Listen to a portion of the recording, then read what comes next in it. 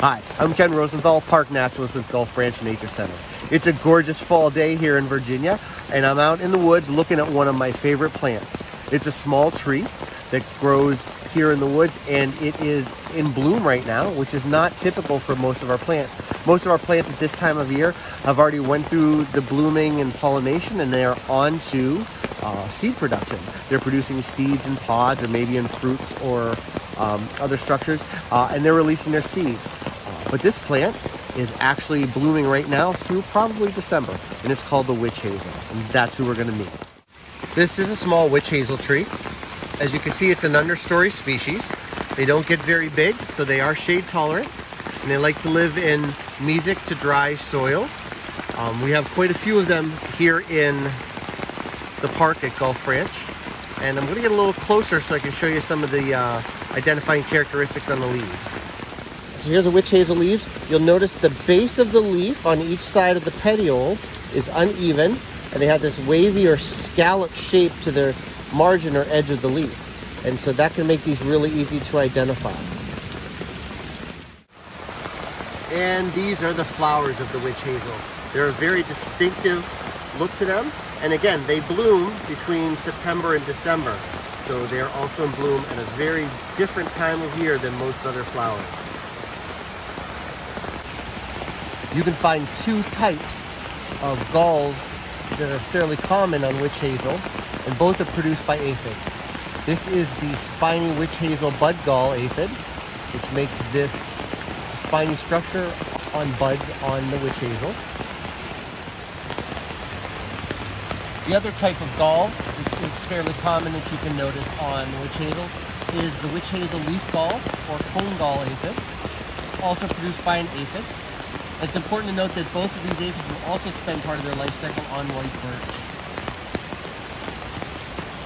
These cone gall aphids are often described, these structures are often described as witches' hats, and it's a really easy way to remember them for identification. As they look like little witches' hats. There's another one over here on top of the leaves of the witch hazel. I think it's also interesting to note that this particular witch hazel tree that I'm showing you now, you can see the flowers and the leaves, is also hosting, not willingly necessarily, if you'll see these tiny tendrils moving down the branches here, uh, and clinging to it, and you can see a couple structures here, which is most definitely not uh, a witch hazel, next to the witch hazel flower. These are um, a type of aerial potato. There's this plant growing up the witch hazel currently. There's a lot of great tradition and folklore surrounding the witch hazel tree, and one of them even includes its name. Uh, as a young naturalist, I remember learning that it was either because it bloomed during the month of October, or perhaps it had something to do with those cone-shaped hats, which are often referred to as witch hats, or perhaps it was how often it was used as traditional medicine, and that that's where it got the name witch hazel. What's interesting to me is a book I was reading this week to look up some more information of the witch hazel. They talked about how the word wych, W I T C H, is a corruption of the Anglo Saxon word witch, W Y C H, which means bending. And the wych hazel was originally called the witch, W Y C H, elm, because its leaves resemble an elm, and it was bendy.